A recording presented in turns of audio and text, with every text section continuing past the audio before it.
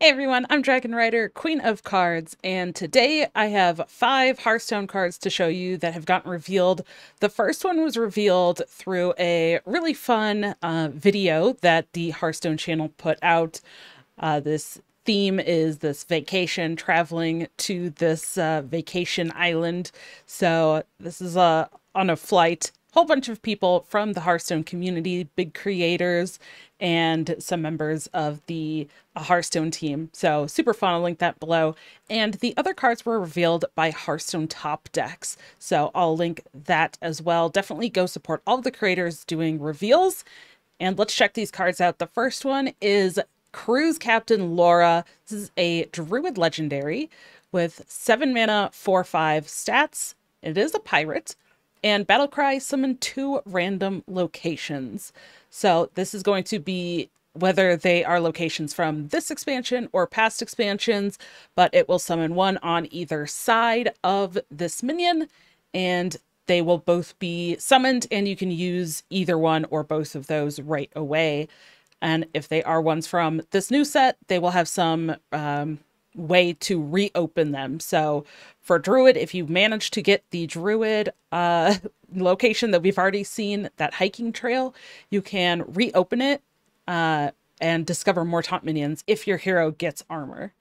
So pretty cool synergies there. Uh, the cost seems really expensive, but you do get two locations with it at the same time. So uh, if there's a way to take advantage of those locations, then maybe. But uh, some locations just aren't going to have synergy with some of the things in the deck and it just seems a little weird so kind of curious to see if there's other support for locations otherwise i'm not sure what uh, the best case scenario for this is then next up, we have legendaries that were revealed by Hearthstone Top Decks.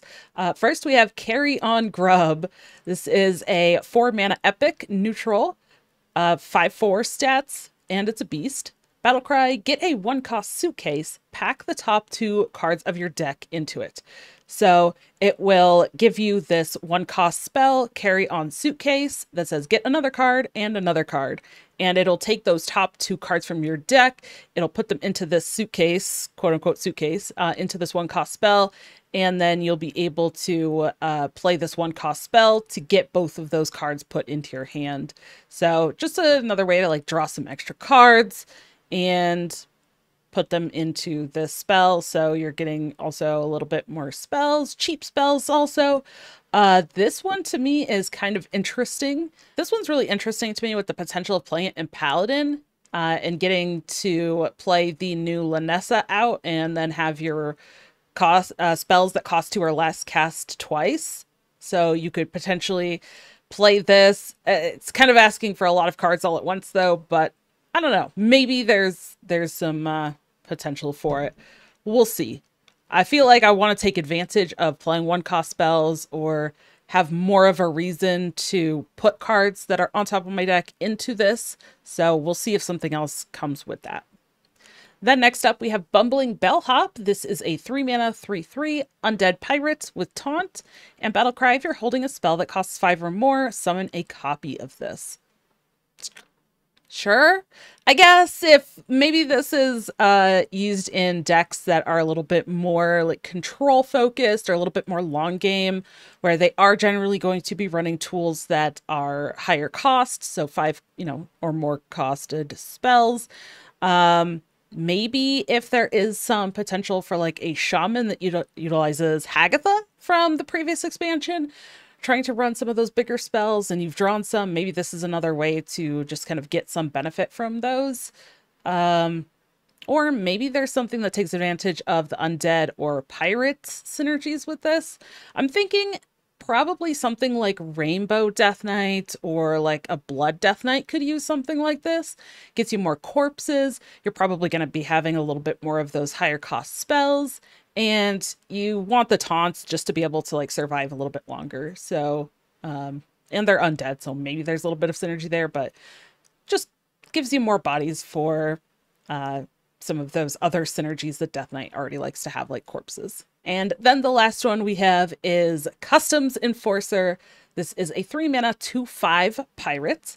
Enemy cards that didn't start in their deck cost two more.